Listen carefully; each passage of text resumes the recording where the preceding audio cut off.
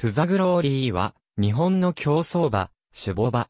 主な勝ち鞍に2010年の中日新聞杯、2011年の京都記念、日経賞、2012年の日経新春杯、鳴尾記念。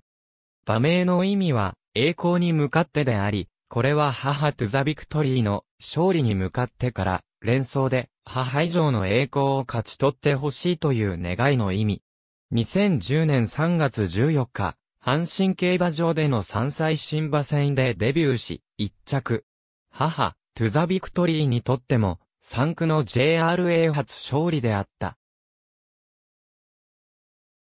2戦目の3歳500万条件戦も連勝して登場し、ダービートライアルの青葉賞では、ペルーサの2着に入って、東京優駿に駒を進めたが、エーシンフラッシュの7着に終わった。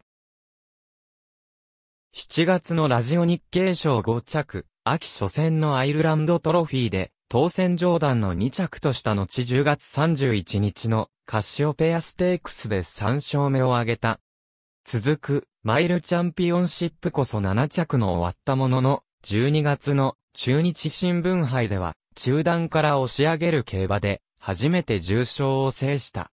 中一周で迎えた、有馬記念は15頭立ての14番人気で迎え、レースでは、後位から進んで、ビクトワール・ピサ、ブエナビスタとは、花首差の3着に粘り込んだ。4歳となった2011年、初戦の京都記念では、名将ベルが、ヒルノダムールを抑えて、重賞2勝目。2月末での定年を控えた管理する、池江安郎にとっては、重賞70勝目。最後の重賞勝利であった。池江安郎厩舎の定年解散に伴い池江安氏、受給者に、天馬屋氏、4月の日経賞でも、ペルーサの追撃を封じて、重賞3勝目を挙げた。その後の G1 競争戦線では、天皇賞で一番人気の13着に終わり、宝塚記念も13着。秋に入っても、天皇賞5着、ジャパンカップ11着と振るわなかったが、2年連続出走の有馬記念では、オルフェーブル、エーシンフラッシュに続く2年連続の3着に入った。2012年は、初戦の日経新春杯で、ダノンバラードを退けて、重賞4勝目を挙げ、ドバイミーティングを目標に据える。2月に入って、ドバイシーマクラシックへの招待を受諾したが、直後の中山記念で10着に終わり、レース後には疲れも見せたため最終的にドバイ遠征はキャンセルとなった。休養を挟み6月の鳴尾記念で湘南マイティの差し足を半馬審査退け重賞5勝目を飾ったが、続く宝塚記念で12着に終わってからは、連敗を重ねて5着以上の上位争いに顔を見せることもほとんどなくなり、2014年の金シャチ賞16着が最後のレースとなって12月11日付で競走馬登録を抹消された。以下の内容は、ヤビスサーチ及び netkeiba.com に基づく。引退後は、北海道浦川郡浦川町のイーストスタッドで種ボバとなった。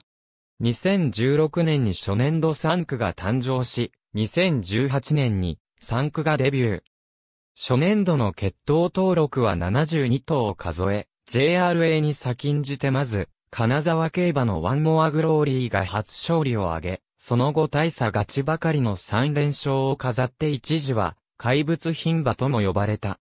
JRA 所属の3区は2018年7月1日に、千のマラカスが初出走を記録して、以来112戦勝てなかったが、2019年2月17日の3歳、未勝利戦で、空手がデビュー8戦目で、初勝利を挙げ、これが、JRA での初勝利となった。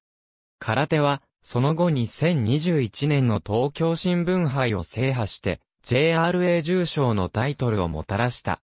一方で、初年度3区の勝ち上がりがスローだった影響が、種付け頭数にも反映され、2019年の種付け頭数は2018年度の77頭から大きく減った37頭、2020年の種付け頭数はさらに減った18頭となった。ありがとうございます。